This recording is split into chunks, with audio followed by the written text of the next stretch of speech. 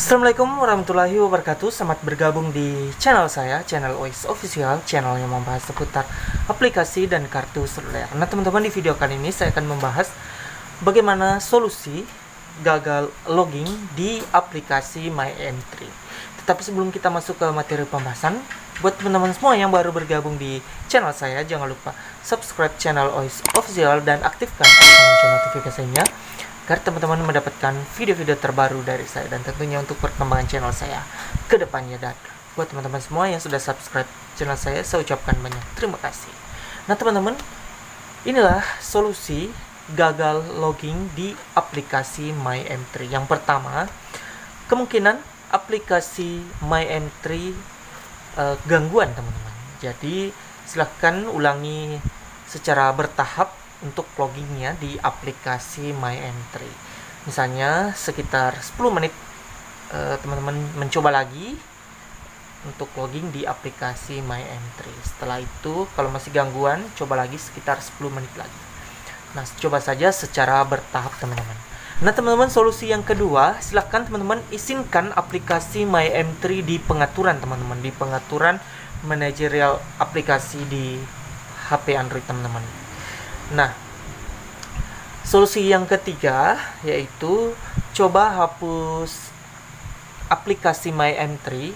Coba teman-teman hapus aplikasinya dulu, kemudian download kembali aplikasi MyM3-nya di Play Store, teman-teman.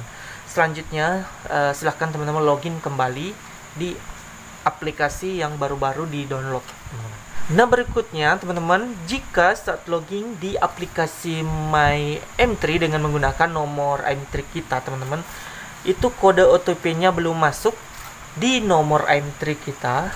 Jadi kemungkinan kartu M M3 kita itu atau kartu Indosat kita itu dalam masa tenggang teman-teman. Jadi solusinya silahkan isi pulsa di nomor M3 kita teman-teman. Bisa pulsa 5000 10000 ataupun di atasnya. Kemudian setelah teman-teman sudah mengisi pulsa di kartu M3 nya silahkan login di aplikasi My M3 dengan menggunakan uh, nomor M3 nya teman-teman. Mudah-mudahan bisa masuk kode OTP nya. Nah selanjutnya teman-teman ini sebenarnya hal kecil uh, ya tetapi kalau kita tidak memperhatikan memperhatikannya lebih teliti tentunya kita bisa gagal logging di aplikasi MyM3 saat mengetik uh, nomor M3 kita di aplikasi MyM3 tentunya kita tidak mengetik mengetikkan angka 0 pada awal nomor M3 kita karena itu sudah ada plus 62 nya jadi langsung saja kita klik misalnya 856 dan seterusnya begitu teman-teman. Dan tentunya juga harus teman-teman perhatikan lebih teliti angka atau nomor M3 yang teman-teman masukkan di aplikasi M3 siapa tahu teman-teman salah memasukkan nomor M3 nya dan kode OTP nya itu tidak bisa masuk di nomor M3 kita tentunya teman-teman. Jadi kita harus teliti memasukkan atau menginput nomor HP M3 kita teman-teman. Atau nomor M3 kita maaf.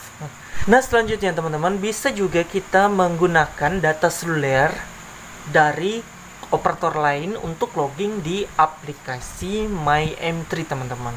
Jadi kalau jaringan M3 atau jaringan data M3 kita itu mungkin bermasalah jadi kita bisa menggunakan uh, operator lain data selulernya kita aktifkan kemudian kita bisa login di aplikasi My M3 tentunya kita masukkan nomor M3 kita teman-teman untuk login di aplikasi My M3 nah teman-teman itulah beberapa uh, solusi apabila kita gagal login di aplikasi My M3 jadi teman-teman Silahkan kalau ada yang mau ditanyakan, silahkan tinggalkan komentar. Dan tentunya teman-teman jangan lupa video ini di like, share, komen, dan di subscribe. Assalamualaikum warahmatullahi wabarakatuh.